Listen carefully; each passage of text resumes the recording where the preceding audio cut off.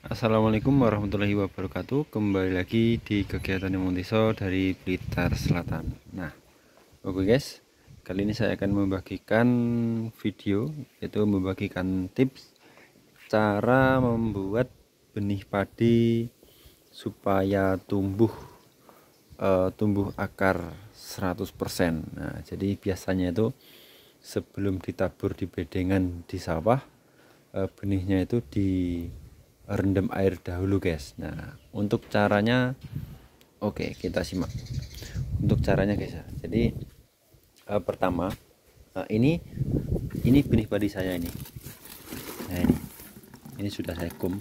Nah jadi pertama itu siapkan benih.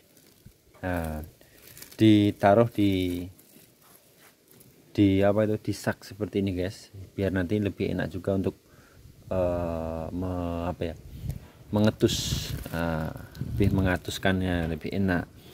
Jadinya yang pertama itu uh, ditaruh di sak. Nah kemudian sak atau karung. Uh, kemudian benihnya itu di. Nah direndam guys. Nah direndam seperti ini kurang lebih semalam. Jadi direndam pakai air ya guys nah ini contoh ini.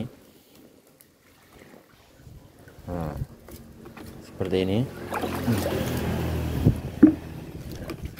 Direndam pakai air kurang lebih semalaman. Nah kemudian bisa dicoba itu siang mulai direndam kemudian pagi. Nah paginya itu di ditus seperti ini guys. Nah. Nah pagi ditus seperti ini hmm.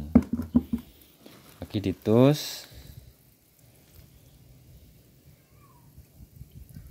Kalau memakai cara ini insya Allah uh, akan tetap tumbuh guys. Yang pertama itu nanti yang tumbuh itu akarnya. Jadi untuk untuk tanaman padi yang, yang pertama tumbuh itu akar. Ya jadi ini ini sudah saya gom dan tadi pagi sudah saya tus dan ini uh, siang hari. Nah jadi ini nanti sore sudah siap ditabur guys. Nah kalau kalau kurang kalau kurang marem nah bisa ditabur besok pagi. Nah seperti itu. Jadi ini sudah mulai tumbuh akar ini coba lihat. Nah ini ini nah ini sudah mulai tumbuh akar ini guys.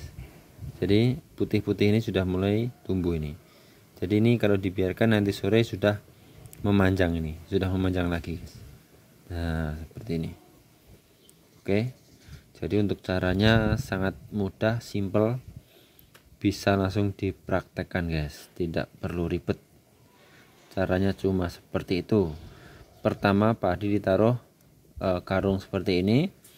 Nah, kemudian dimasukkan ember atau timbo. Nah diberi air secukupnya. Nah terus besok paginya itu ditus. Nah ditus seperti ini. Sesekali disiram tidak apalah. Seperti yang saya lakukan tadi ini baru saja saya beri air nah kemudian ditus lagi. Nah tidak masalah itu. Jadi menghindari kering. Jadi kalau bisa itu tetap basah. Nah, seperti itu guys. Oke begitu saja. Uh, jadi tonton terus videonya uh, dan jangan lupa like subscribe komen. Nah itu yang terpenting guys. Dan untuk video kelanjutan besok bisa penaburan di lokasi di sawah guys. Di tempat pembedengan nah seperti. Oke? Nah ini disimpan.